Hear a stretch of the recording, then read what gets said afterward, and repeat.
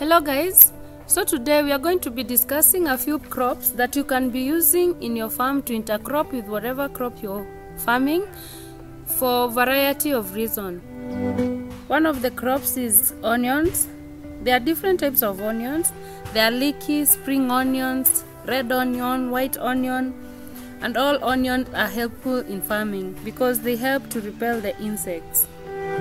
They are also used in the kitchen to prepare our meals and they can be sold to our local markets.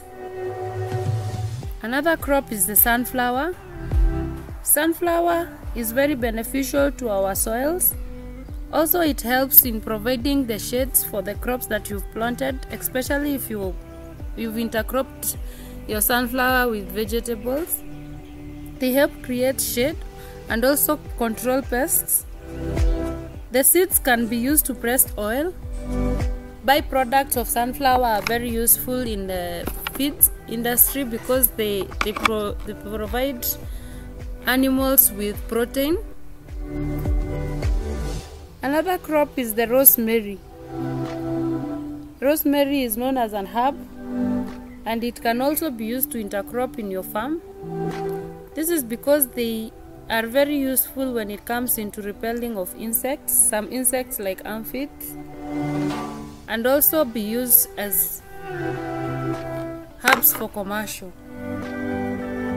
The other thing that you can intercrop in your farm is the neem. And the neem is used for different reasons. It has medicinal value, can be used as pesticide, and also it can be used to create shade in your farm.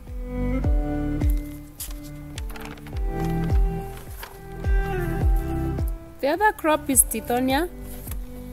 Tithonia is used in making green tea. They are used as lichens. They are used in compost as well. When you're making compost, you can use tithonia. And also they are used as foliage for the goats. Tithonia can be used to deworm animals such as the goats. Another amazing crop is the Mexican marigold. Most of the people identify Mexican marigold as a weed in the farm, but it's a useful weed that can be used in also making the green tea.